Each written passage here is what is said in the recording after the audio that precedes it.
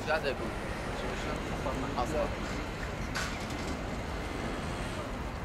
Varför har ni hela restaurangen som fasta platser? Ja, det har no!